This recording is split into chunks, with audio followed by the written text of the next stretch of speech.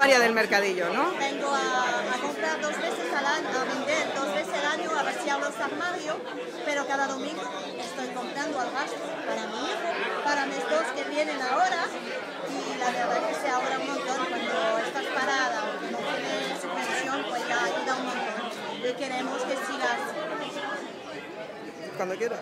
Pues nada, mi caso es que soy madre de cuatro hijos, yo no trabajo, mi pareja no trabaja. Ahora mismo mis niños no pueden ir al colegio con material, ni libros, ni nada, están yendo con un folio, un lápiz una goma. Y espero que por esa causa tampoco tengan que repetir año escolar, debido a que no están en condiciones de poder estudiar.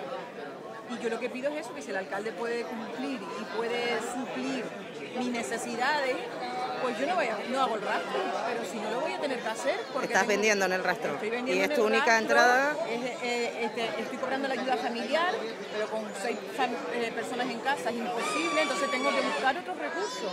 Y un recurso que he encontrado ha sido el rastro. Vendo en el rastro, soy usuaria del rastro, compro en el rastro para mis niños, entonces si me quitan eso, no podemos subsistir, por eso yo digo, si me lo cumplen, me lo suplen por otro lado, yo no voy al rastro, pero si no, me tendrán que dar. Eres vecina de Arona. Soy vecina de Arona y ya te digo, tengo cuatro niños menores, cuatro menores que están estudiando y no están en condiciones de una educación digna que dicen que tienen que tener, no la tienen. ¿De qué edades? ¿Qué edades tienen los Pues el más pequeñito tiene 11 meses, uno de 6 años, uno de 15 y uno de 16.